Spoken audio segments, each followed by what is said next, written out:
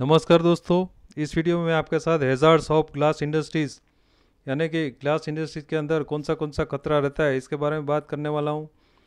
Safety engineering to post diploma industrial safety और subject code 104 का examination में आपको इसके बारे में फाइव मार्क्स का क्वेश्चन कभी कभी पूछा जाता है। क्वेश्चन में हेजार्ड्स ऑफ़ ग्लास इंडस्ट्रीज़ इसके बारे में हमको क्या क्या ग्लास इंडस्ट्रीज़ के अंदर खतरा रहता है, उसके बारे में बताना रहता है।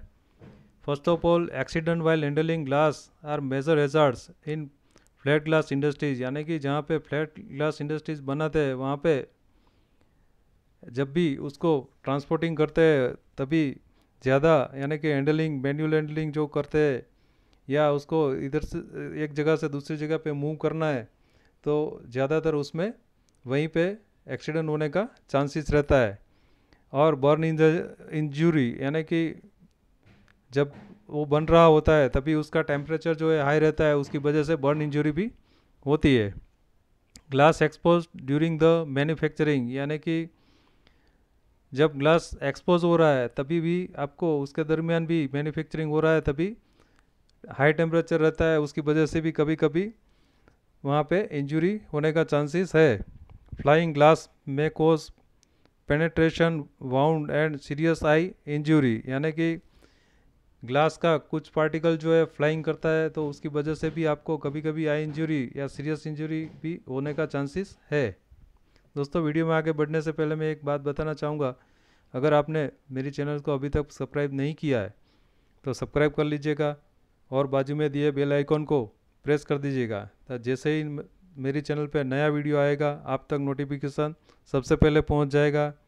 दूसरी बात, इस वीडियो का डिस्क्रिप्शन बॉक्स में आपको सेफ्टी रिलेटेड वीडियोस, टाइटल के साथ लिंक मिल जाएगा, उसमें अगर आप देखना चाहते तो देख सकते। हैं तीसरी बात, अगर आपको मेरा वीडियो अच्छा लगता है तो लाइक करना मत भूलिएगा और दोस्तों के साथ शेयर कर दीजिएगा। अब वीडियो में आगे बढ़ते हैं। फिफ्थ नंबर, लीड पॉइजनिंग में आकर from mixing of raw material containing red lead six number dust such as soda ash and potash may causes nasal ulceration and skin irritations. 7 number fuels and product of combustion one of the hazards of maintenance work. 8 number glass blowing by mouth may cause deformity of checks and damage to mouth and teeth. 9 number caustic burn due to skin irri irritant. 10 number silica is the largest component in commercial glass manufacturing, which creates a silicosis disease यानी कि silica का main जो raw material है वो silica है और silica की वजह से काफ़ी सारा मटेरियल्स वहाँ पे यूज़ होता है। इसकी वजह से सिलिकोसिस नाम का डिसीज़ जो वहाँ पे काम कर रहा है, उसको होने का संभव रहता है।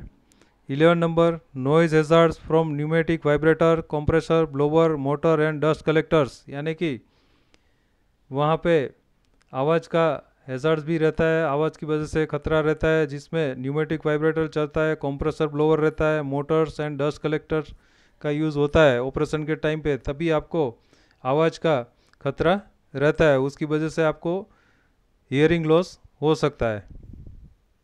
थैंक यू दोस्तों।